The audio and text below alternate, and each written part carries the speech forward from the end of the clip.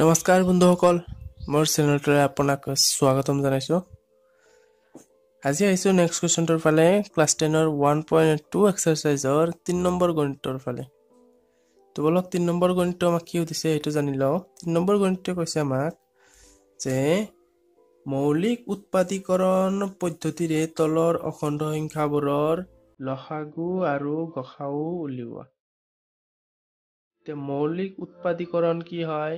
এইটো ফাৰ্ষ্ট কুৱেশ্যনটোত কৰা আছে। যেন ফাৰ্ষ্ট কুৱেশ্যনটোত মৌলিক উৎপাদীকৰণ পদ্ধতিৰে আমি চল্ভ কৰিছিলোঁ সেইটো ভিডিঅ' চাই লওক যেন মৌলিক উৎপাদীকৰণ বস্তু কি হয়। এতিয়া আহিছোঁ ফাৰ্ষ্ট কুৱেশ্যন তিনি নম্বৰ কুৱেশ্যনৰ ফাৰ্ষ্টটোৰ ফালে। ফাৰ্ষ্টতটো কি দিছে? Twelve fifteen and twenty one তাৰমানে বাৰ পোন্ধৰ আৰু একৈছৰ লসাগু আৰু গসাও উলিয়াব লাগে মৌলিক উৎপাদীকৰণ পদ্ধতিৰে। মৌলিক উৎপাদীকৰণ পদ্ধতি হৈছে যদি কোনো এটা সংখ্যাক আমি বিশ্লেষণ কৰোঁ যিবিলাক নেকি সংখ্যা আহে সেইবিলাক চব মৌলিক সংখ্যাৰে বিশ্লেষণ কৰিব লাগিব। এক্সাম্পল মই লৈছোঁ ইয়াতে লৈছোঁ মই। ছাপ'জ বাৰটো আমি ভাঙিম। বাৰটো ভাঙিলে ফাৰ্ষ্টত কিহেৰে হৰণ যাব? যিবিলাক সংখ্যাৰে হৰণ কৰিব কৰিম সেইবিলাক চব মৌলিক হ'ব লাগিব। এইটো মনত ৰাখিলে হয় দুইৰে হৰণ কৰিম দুইটো মৌলিক বাৰৰে। দুইৰে বাৰক ছয়বাৰ যাব তাৰপিছত ছয়ক আকৌ দুইৰে হৰণ কৰিব পাৰিম তিনিবাৰ যাব। এতিয়া দুই আৰু তিনি হেৰিখিনি আহিছে এই গোটেইকেইটা মৌলিক যাৰ কাৰণে নেকি বাৰটোক আমি মৌলিক উৎপাদীকৰণ পদ্ধতিৰে বিশ্লেষণ কৰিলোঁ। এতিয়া বাৰটোক আমি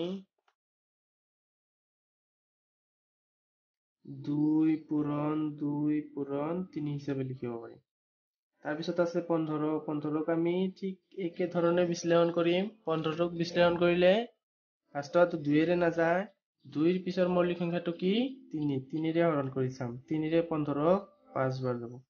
পাঁচটো এটা মৌলিক সংখ্যা আৰু নাযায়। তেনেহ'লে আমি পোন্ধৰক কেনেকে ভাঙিব পাৰিম? Three into five. লাষ্ট আছে টুৱেণ্টি ওৱান টুৱেণ্টি ওৱানক কেনেকৈ ভাঙিব পাৰিম? ফাৰ্ষ্টত দুইৰে হৰণ নাযায় তেনেহ'লে কিহেৰে হৰণ কৰিম? তিনিৰে তিনিৰে সাতবাৰ যাব। তেনেহ'লে আমি টুৱেণ্টি ওৱানক থ্ৰী ইণ্টু ছেভেনেৰে হিচাপে লিখিব।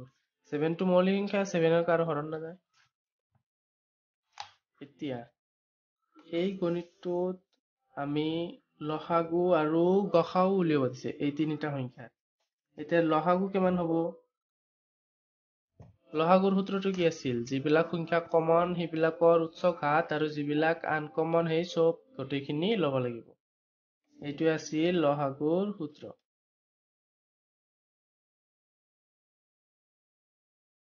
এতিয়া এই তিনিওটাৰে কোনটো সংখ্যা কমন আছে? আমি যদি চাওঁ তিনিটো গোটেইকেইটাতে কমন আছে। আৰু কোনো কমন নাই তেনেহ'লে আমি বাকী গোটেইখিনি ল'ব লাগিব। ইয়াতে দুই দুটা আছে দুটাও ল'ব লাগিব। তিনি যিহেতু তিনিওটাতে আছে তেনেহ'লে আমি তিনি একবাৰ ল'লেই হ'ব। হুম? এইটো মনত ৰাখিব যে তিনি যিহেতু তিনিওটাতে আছে যদি চাপ'জ ইয়াতে তিনি দুটা থাকিলে হয় তেনে আমি অনলি তিনি দুটা ল'লো হয়। মানে তিনি দুটা থাকিল মানে কি থ্ৰী স্কুৱেৰ হৈ গ'লে হয়। তেনেহ'লে যিবিলাক সংখ্যা নেকি কমন থাকে তাৰে উচ্চতম ঘাতটো ল'ব লাগে। ইয়াতে গোটেইকেইটাৰ ওপৰতো ওৱান আছে যাৰ কাৰণে নেকি আমি একবাৰ ল'লে হ'ব। তাৰপিছত আছে ফাইভ আনকমন তাৰপিছত আছে ছেভেন এতিয়া এই গোটেইকেইটা পূৰণ কৰিলে কিমান আহিব? দুই দুই গুণ চাৰি চাৰি তিনি গুণ বাৰ বাৰৰ পাঁচ গুণ ষাঠি। ষাঠিৰ লগত যদি আমি সাত পূৰণ কৰোঁ ছয় সাত গুণ বিয়াল্লিছ চাৰিশ বিছ ভুল হ'ব পাৰে, আপুনি পূৰণখিনি কৰি চাব। এতিয়া গসাও কিমান হ'ব? গসাওটো কেনেকৈ উলিয়াইছোঁ? যে যিকেইটা নেকি কমন আছে, তাৰে নিম্নতম ঘাতটো। মানে তিনি তিনিওটাতে আছে তিনি তিনিওটাৰে ঘাত কিমান? এইটোৰ ওপৰতো ওৱান আছে, এইটোৰ ওপৰতো ওৱান আছে, এইটোৰ ওপৰতো ওৱান আছে। এইটো হৈছে ঘাত, এইবিলাকক ঘাত বুলি কয়। তিনিৰ ওপৰত ওৱান আছে তিনিৰ ওপৰত তিনিওটা ছেম ছেম আছে তেনেহ'লে যিকোনো এটা ল'লেই হ'ব। ছাপ'জ যদি ইয়াতে ছাপ'জ থ্ৰী স্কুৱেৰ থাকিলে হয় তেনেহ'লে আমি ইয়াত ধৰক ফাইভ থাকিলে হয়। মানে three to the power five আহিব পাৰে অলপ ডাঙৰ সংখ্যা হ'লে। তেতিয়া আমি কি ল'লে হয় যেন তিনিওটা তিনিটো গোটেইকেইটাতো কমন আছে তাৰে যোনটো নেকি নিম্ন ঘাটৰ হা যোনটো নিম্ন ঘাটৰ আমি সেইটো ল'লোঁ হয়। Three to the power one আমি সেইটো ল'লোঁ হয়। এতিয়া যিহেতু গোটেইকেইটাতে ওৱানে আছে তেনেহ'লে যিকোনো এটা ল'লে হয়। মানে এইটোৰ গসাও হ'ব থ্ৰী আৰু লসাগু চাৰিশ বিছ এইটো পূৰণ কৰি চাব ট্ৰাই কৰি। চাৰিশ বিছে হ'ব চাৰি চাৰি তিনি গুণ বাৰ বাৰ ষাঠি ষাঠি ছয় সাত গুণ বিয়াল্লিছ ঠিকে আছে। চাৰিশ চল্লিছ চৰি চাৰিশ বিছেই হ'ব। তাৰপিছত এইটো আপুনি ট্ৰাই কৰক মই তিনি নম্বৰটো কৰি দি আছোঁ হা। একদম ইজি হয় কোনো প্ৰব্লেম নাই। জাষ্ট আপুনি এনেকৈ ভাঙি ল'ব ভাঙি লৈ কিনে লহাগু আৰু গসাও উলিয়াব লাগে। একদম সহজ। এতিয়া তিনি নম্বৰটোৰ ফালে আহিছোঁ। তিনি নম্বৰটো আমি ছেম ভাঙিম আঠক ভাঙি দিম দুই দি চাৰিবাৰ আকৌ দুই আকৌ দুই। তেনেহ'লে আমি আঠক দুই পূৰণ দুই পূৰণ দুই হিচাপে লিখিব পাৰোঁ। যিহেতু দুই তিনিটা আছে আমি তিনিবাৰ লিখি টু কিউ হিচাপে লিখিম। তাৰপিছত আছে নাইন নাইনটো দুইৰে নাযায় তিনিৰে যাব তিনি তিনি গুণ ন তেনেহ'লে আমি নাইনটোক কেনেকৈ লিখিব পাৰিম? তিনি দুটা আছে থ্ৰী স্কুৱেৰ হিচাপে লিখিম। তাৰপিছত টুৱেণ্টি ফাইভ। দুইৰে নাযায় তিনিৰেও নাযায় চাৰিৰে নাযায় চাৰিটো হেৰি মৌলিক সংখ্যা নহয় এইটো দি হৰণ গ'লেও আমি ল'ব নোৱাৰিম। পাঁচেৰে যাব পাঁচেৰে পাঁচ পাঁচ গুণ পঁচিছ। তেনেহ'লে টুৱেণ্টি ফাইভক আমি ফাইভ স্কুৱেৰ হিচাপে লিখিব পাৰোঁ। এতিয়া লহাগু সূত্ৰটো কি আছিল যে যিবিলাক সংখ্যা কমন তাৰে উৎস ঘাত আৰু যিবিলাক নেকি আনকমন সেই গোটেইখিনি ল'ব লাগিব। ইয়াতে কমন কি আছে? ইয়াতে টু কিউব আছে ইয়াতে থ্ৰী স্কুৱেৰ আছে ইয়াতে ফাইভ স্কুৱেৰ আছে। কোনোটোতো কমন নাই। ইয়াতে টু হয় এইটো থ্ৰী হয় এইটো ফাইভ তেনেহ'লে আমি গোটেইকেইটা ল'ব লাগিব। টু কিউব কিউবে ল'ব লাগিব থ্ৰী স্কুৱেৰে ল'ব লাগিব ফাইভ স্কুৱেৰ ল'ব লাগিব। মানে গোটেইকেইটা পূৰণ কৰি দিব লাগিব। টু কিউব কৰিলে এইট থ্ৰী স্কুৱেৰ কৰিলে নাইন ফাইভ স্কুৱেৰ কৰিলে টুৱেণ্টি ফাইভ কিমান হ'ব? এফালে আঠ ন গুণ বাসত্তৰ পঁচিছৰ লগত পূৰণ কৰিলে পাঁচ দুই গুণ দহ।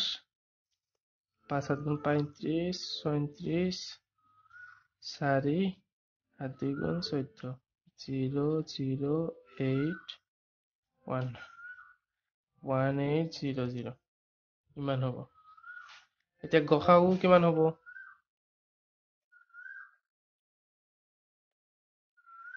গসাও কোনটো যোনটো নেকি গোটেইকেইটা সংখ্যাতে কমন আহে সেইটো হৈছে গসাও এইটোত টু আছে থ্ৰী আছে ফাইভ আছে, কোনো কমন নাই যাৰ কাৰণে নেকি আমি অনলি ওৱান এটা লিখি দিব পাৰোঁ কাৰণ এইবিলাকৰ লগত যদি আমি ওৱান এটা পূৰণ কৰি দিওঁ, ইয়াৰ কোনো পৰিৱৰ্তন নহয়। চাপ'জ পঁচিছৰ লগত ওৱান এটা পূৰণ কৰি দিলোঁ, কি পৰিৱৰ্তন হ'ব? পঁচিছ এক গুণ পঁচিছ একে, কোনো প্ৰব্লেম নাই।